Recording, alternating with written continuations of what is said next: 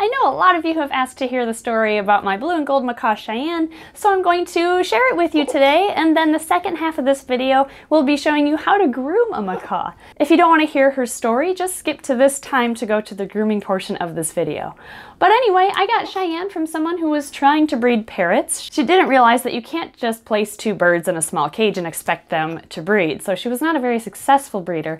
But Cheyenne was bought as part of a proven pair, which means that her and her mate had apparently successfully hatched and raised chicks of their own. Her mate had sadly died after this woman bought them, and then Cheyenne was considered a spare. So I bought her from this lady, and usually breeder birds are not very friendly because they've bonded with another bird, so they could care less about people and humans. But Cheyenne was amazing. She was easy to bond with and she quickly became part of our family and she was actually the ring bearer at our wedding. We had our colors match her, the blue and the yellow, and the whole nine yards. Cheyenne is 19 years old. Man, that means I've had her for 10 years actually. I've had her for a long time, which is why she's just part of the family now.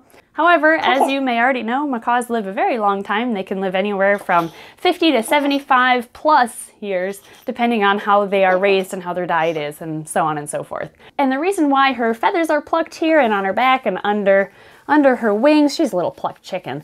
But the reason for that isn't because she's abused, it's because she was stressed out to extreme limits at her previous home. She was not interested in breeding, and when I visited her, even before her mate had died, uh, she was a plucker back then too, and usually plucking is a sign of boredom with parrots. They just don't have enough stimula stimulation in their environment, so they move towards plucking their own feathers out, and then that just becomes a really bad habit, just like biting your nails is.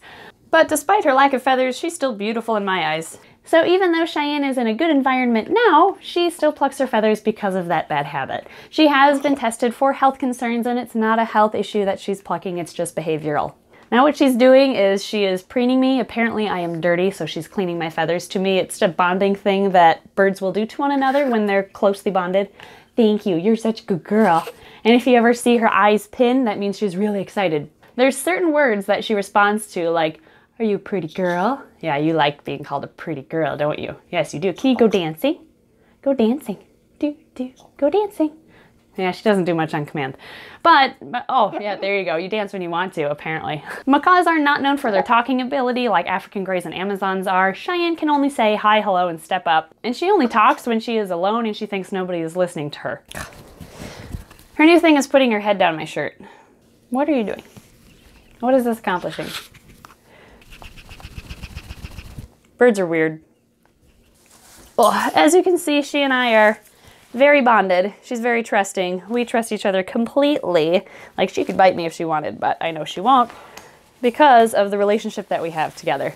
So let me show you the second half of this video where I groom her claws and her beak. This video was made about a year ago, so I apologize. The quality isn't very good, but you might still find it entertaining. Grooming your parrot is easy. All you have to do is roll them onto their back, set them in your lap, Take your Dremel and one by one, do their nails.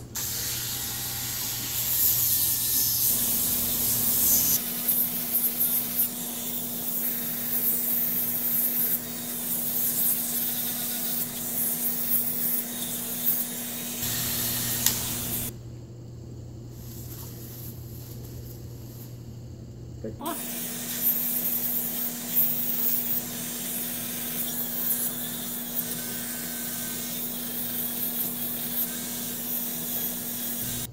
Now as you can see, Cheyenne's beak is a bit of a scissor beak, so we have to even that out too. That's also easy.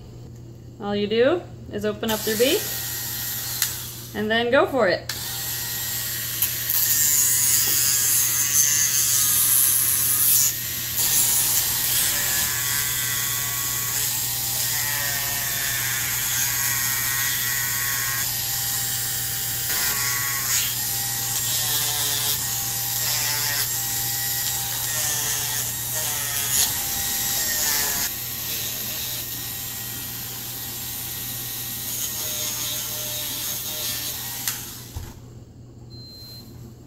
And there you have it. Super easy. Okay, so in all seriousness, don't do that. If you're not sure how to groom your bird, bring them to a vet or an experienced bird groomer, and don't attempt it on your own. Thanks for watching.